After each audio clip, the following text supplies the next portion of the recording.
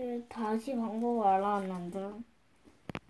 자, 그 다음에 한쪽으로 넘겨주시고, 얘를 이쪽으로 해주세요.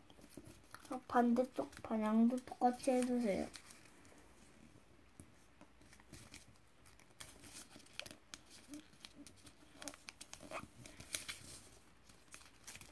여기까지 만들어 주시고요. 음, 얘를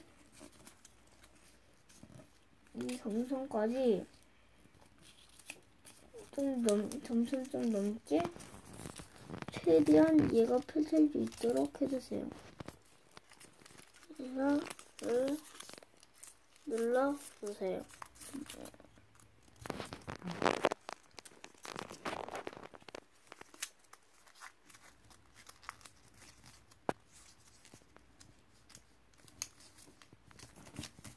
자, 여기까지 했으면 뒤, 뒤집어주세요.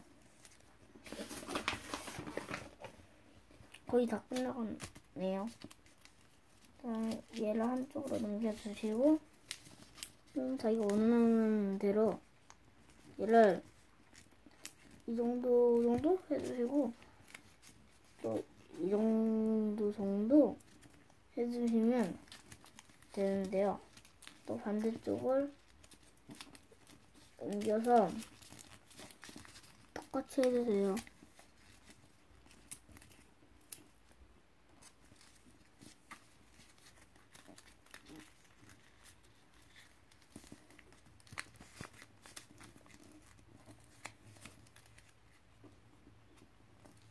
그리고 한쪽으로 넘겨주시면 완성이에요. 그래가지고 뒤집어주고 아 얘를 여기다 끼워야 되는데 테이프로 붙여버렸네요.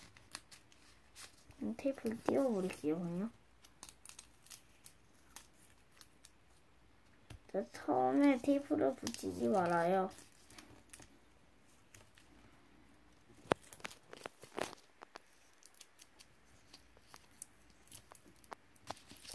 그리고 이쪽에다 얘를 저는 미니카 모드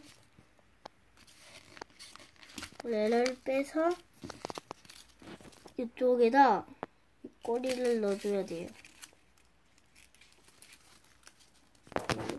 여기까지, 여기까지 최대한 낼 수 있을 정도로 넣어주세요. 여기까지 넣으면 이건 또 로봇 모드가 돼요.